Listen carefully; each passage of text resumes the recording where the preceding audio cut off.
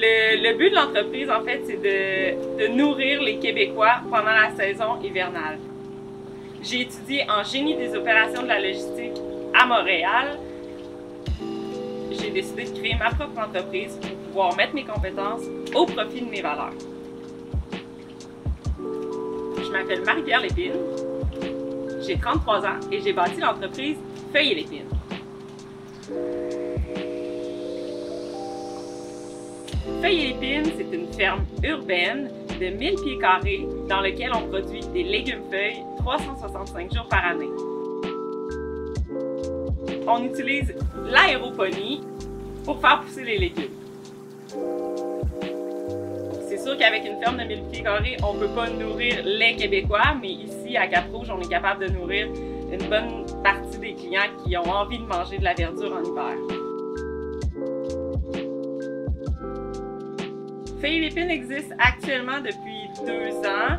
Euh, on a fêté nos deux ans au mois d'août l'année dernière. Au début, on était avec la restauration, mais euh, vu la pandémie, on a changé notre direction. Puis maintenant, on est avec les consommateurs et les résidents de Cap-Rouge et Saint-Augustin.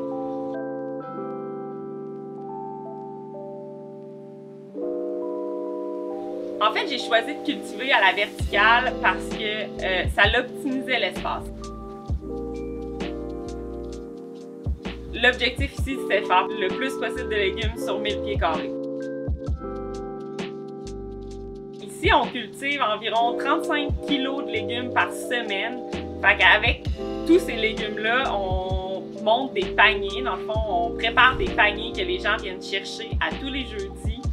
Euh, donc, il faut réserver son panier euh, à l'avance sur le site web www.feuilleletine.com. Les commandes sont ouvertes à chaque semaine pour la semaine suivante.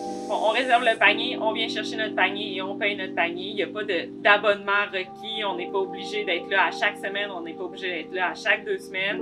Euh, on paye vraiment le panier qu'on vient chercher, mais qu'on réserve à l'avance pour que je puisse le préparer pour les gens.